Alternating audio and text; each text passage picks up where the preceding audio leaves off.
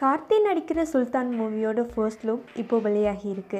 இந்த மூவியை சிவகார்த்திகேயன் ரிமூவ் படுத்த இயக்குன இயக்குனரான பாக்யராஜா அவர்கள் தான் இந்த மூவியை டிரெக்ட் பண்ணுறாரு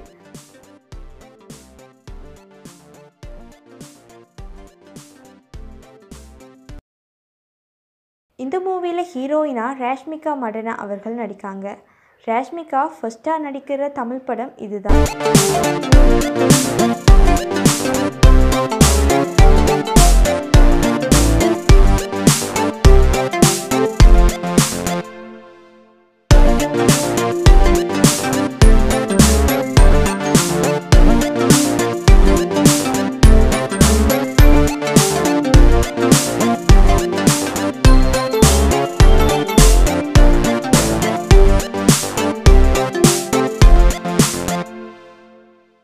We'll